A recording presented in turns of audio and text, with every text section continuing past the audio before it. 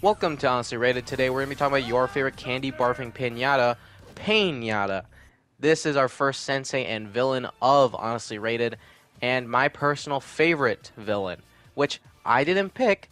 People in the comments put it down there, and I picked it. So if you want to see yours potentially next, just leave it in the comments, and maybe I'll, I'll decide I want to choose it. But let's see if they were able to make a pretty well-rounded character off of basically two moves and a character premise from villains. But first, let's talk about his history. Now, the way that Pain-Yatta became a Skylander in the first place is honestly more of a somber tale. So, obviously, Pain-Yatta was a villain. The reason he became a villain is that he had a unicorn that had a churro horn. And they was best friends with them. He would protect them with his giant sucker. You know, he already had those smashing capabilities with his big ass lollipop and one day they went missing. And apparently Pain-Yatta's not one to think and just kind of act. And the Doom Raiders came up to him and said, hey, you know those Skylander guys? Yeah, they did it. He believed them. You know, you went, you went to the telescope place, you fought them, you trapped them, and then Eon eventually just told him, like, yo, we didn't do shit to that unicorn, but we'll help you if you help us. And I, Pain-Yatta just really wants to find that damn unicorn. So he joins up with the Skylanders and becomes a sensei, which I'm very happy for. I really like the guy. So there's his little history, there's his little background. And now we can go into his move set because it is 10 times more sweeter than that Sad's tail. First on the list, we got Lollipop Slam and Candy Barf, which these come straight out of Trap Team with a slight difference. I do want to say though that I'm not going to really try to put strength into the rating. Strength is obviously a good thing when it comes to a character, but since he is a sensei, uh, I don't want to make it fully about strength because he's going to be strong no matter what, right? Like he is the newest one technically, and would be strong otherwise. So I'm gonna really try to preface it to how well they play and how well their moves are able to work together. So I just I, just a quick disclaimer. But now actually into the moves. Lollipop is the one that works slightly differently than it worked back in Trap Team. Back then, you just slammed the lollipop, that's it, bada bing, bada boom. They took a little bit more of a creative use to it though, and gave them three different lollipops to slam, or three different I guess you wouldn't call a cane a lollipop, but three different things to slam. He has a standard rainbow lollipop from Trap Team that, when slammed, will do knockback to basic enemies. Nothing too big. Now, if we break the candy cane, it will do a freeze.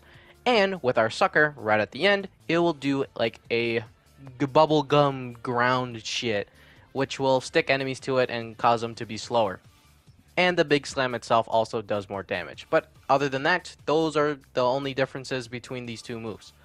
Now for Candy Barf, it's basically a one-to-one -one to what it was before. You used to barf at people, and it'll stun them. And it does the exact same thing here. It's uh, pretty slow turning. You can stop it by jumping. And it works pretty well with this kit, you know, stun people, smack them, stun them, bada bing, bada boom. First two moves, pretty nice. And again, straight out of Trap Team, so can't hate it. The next two suites we're going to look into is Break It Down and Pinata Summon. Break It Down allows us to break our lollipops a lot faster. So, comparatively to our 8 hits that we needed to do before we could get a Grand Slam, we now only have to do 5. And then on the 6th, we get to break our lollipop. This is pretty good for the fact that, again, the Grand Slam does more damage. And now we can get to cycle through our lollipops a lot faster and get those special advantages for, like, breaking away, just like the gumdrop and the freezing and all that type of shit. After that sweet upgrade, we have Pinata Summon, which is his special move. And it is a pretty good special move. For right now, we can spawn one, and it's still pretty good at one. Pinata Summon allows us to summon a minion, which is a little pinata, that does 60 damage, 100 damage at a crit at level 12, and works really well to kind of break away attention from you because people like the enemies actually do like to attack this minion for some reason. And if it gets hurt, it'll explode. If it gets up to its enemy, it'll explode. Maybe hump its leg a little bit. I don't know. It's like a really active dog that explodes. And it works really well. And the nice thing about it too is that it isn't one of these minions that like you spawn one and then if you try to spawn another, it'll explode just in its place. You can just keep spawning them. If the enemy doesn't, if it doesn't explode, you'll just have multiple on the ground. Now I got up to like maybe three before, before like you know one started exploding on like an enemy, but you can definitely spawn a couple, and they work really well. So right now, it's it's all coming together. It's all coming together. The last two treats we have left are Pinata Ponzi and You Are What You Eat. These two aren't really even moves, they're just kind of upgrades to what we have. And they're really good upgrades, like very good. So Pinata Ponzi, as you see, is allowing us to spawn in three Pinatas. And like I said before, minions like to attack the minions. Uh, it really just helps kind of break away all the action from you, especially from large groups. And Pinata is a type of guy that I honestly think can kind of fight every single type of enemy for some reason. He can just attack big groups. He can attack obviously small people. I think that maybe the hardest he could have is against like bigger, tougher enemies that don't get knocked back from his stuff or doesn't get affected by it. But even then, Pinatas just kind of work. The Pinata minions just kind of work to deface them. And again, break away those bigger groups. So this upgrade in itself is really good. Just having three spawn in, and you can spawn up to like six within pretty quick measure, is really good. And for the last move in the primary path, you are what you eat, is creatively a pretty smart upgrade. Every time you get hit, you're going to drop candy. Or just when you get hit, you'll drop candy. And you can eat it and get health back. That just makes sense. It's a pinata. What do you do to pinatas? You hit them and get candy. That's a pretty smart idea for a move, especially for a primary. You can have this for both paths.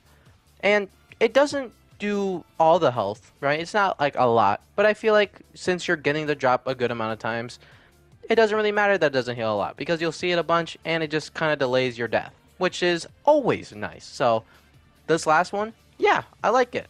The Pinata Ponzi is a pretty good move too. It is really good actually. It's one that I thought you would see in a path itself, but no, it is one that you get for free and you get to use it for the other ones. So, yeah, these last two, this whole primary, you know, even though being kind of filled with just upgrades for certain things, work really well. We have shorter duration on our lollipop, more pinatas, getting health back per hit, you know, and Pinata is not really a safe character. He gets hit a good amount of times. So, yeah, all these upgrades just like accumulate to just being good.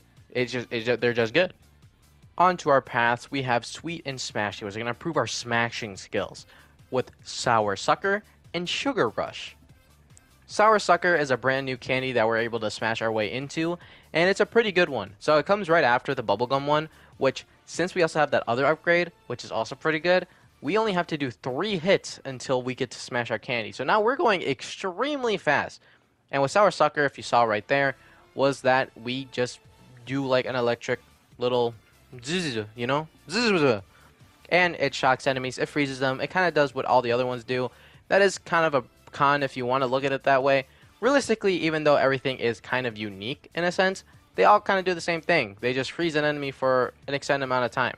Electrocution wise uh, sticky floor wise or just freezing wise like they all just stop an enemy from doing anything so creatively is smart but there's not a lot of variation, right? There's not a lot of just differences. They're all just freezing. But it's still cool. I like to see it. And like I said before, our other upgrade where it lets us break it down a lot quicker is a lot quicker. We do three hits and then we get to smash into the next one. This really cycles through it. And I know I said I don't want like damage to be like the whole thing. This is helping to do a lot of damage. And even the next one. The next one is so absurd that I feel like they should have put it in the other path. So let's go talk about it. The last move in the top path is called Party Mode, and I'm actually seriously debating if this is probably better than the Soul Gem because it maybe possibly is because of the top path. So, what this allows us to do is that every single time we break our lollipops together, it's going to give us a small duration of a boost of damage, defense, and speed. And if you remember our last upgrade, which allows us to break our candy in three hits. So one, two, three, and then boom, we get to explode. It's kind of fast, really fast. And you could tell that because even the fucking little disco ball on the top doesn't even have time to leave before I already have my next one up and ready to go. And even for its short duration, we are going so fast that that duration just lasts infinitely because we are smashing like over and over and over and over. There's usually a time where you don't have it on, right? and it again i don't want to like preface damage it makes you do a lot of damage and it's super good but i definitely think it should have been at the bottom because it would have made the top feel at least at least equal right when it comes to a skylander i definitely feel like that both paths should be equal in a sense to where you want to play as both it gives a character a lot more depth and it gives a character a lot more of a feel of like, hey, I can go either path and I can have fun either or, and it doesn't feel like I'm missing out on something too big.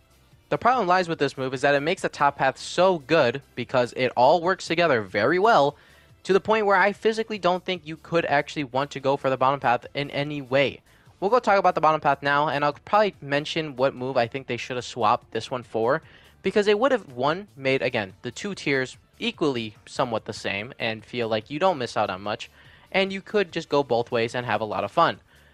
But for now, and since this is the reality we live in, it's a very good move. Like, I, am not trying to say it's not. It is a very, very good move. And it makes the top path very, very good. And I definitely think you should pick it. But let's go down the bottom path because maybe, maybe you really don't care. Maybe you don't care about the extra damage. Maybe you don't care about being a, like an overpowered hype beast. And you want some more funner, creatively cool moves. Which I think the bottom path does actually do pretty well. Our bottom path is called Life of the Party. And this is for defense, which, you know, the last one kind of fits. But we have Rock Candy and After Party and these two are honestly kind of creative, and I really do like them. Just like the top path, we get to put our new candy in our cycle, which is this rock candy, which, if you got blue rock candy pinata, for one, I'm jealous of you. For two, you should definitely go with this path because it just kind of fits.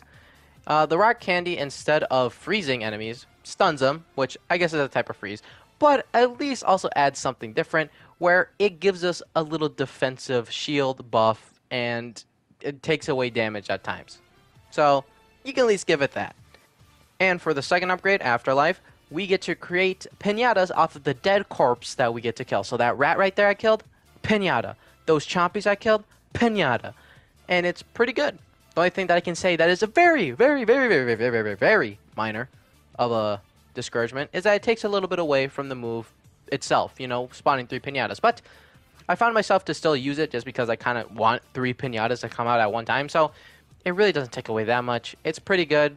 Defensively, it doesn't kind of make sense. Like, like it sort of does, you know. It's a distraction, but also like it, it damages pretty well. Whatever, you know, he damages pretty well anyways, so it, it doesn't fucking matter. But it's still these two pretty good, but nowhere still at like anywhere Uh, where the top one was. And our last one, the one that I think should have been switched with the top, would have been Candy Laser. Now, let me just explain why. For one, again, it would have at least created at least an equal domain of these both paths are pretty equal. I definitely think so. And it just makes fucking sense. You make a thing called party mode. You make a, a line, a, a path called life of the party.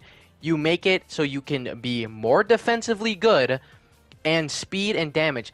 Doesn't that all just accumulate to what the bottom path has? I know it probably wouldn't do as well as the top, but at least then both sides feel equal.